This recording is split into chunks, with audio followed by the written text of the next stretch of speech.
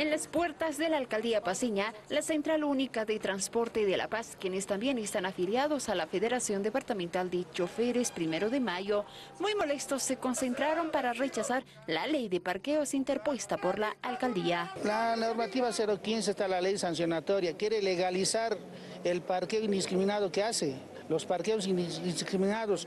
¿Dónde lo ha hecho? 1.800 parqueos en la, zona sur, Sopocachi más de 300. Aquí quiere hacerlo en Miraflores, quiere hacerlo en Villa Fátima.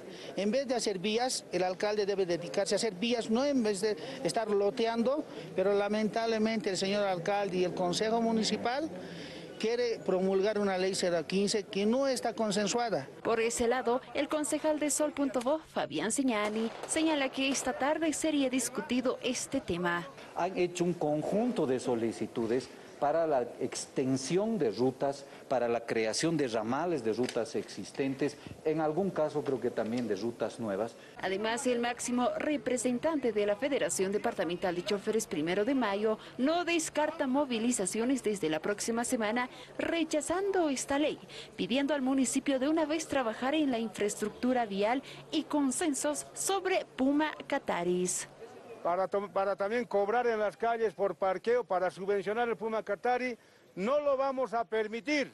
Y los choferes no tenemos ninguna deuda con el gobierno municipal. Hemos aceptado muchas cosas y basta. Hasta aquí hemos llegado. Vamos a recurrir a las movilizaciones tal cual corresponde y que no diga que esto es un tema político.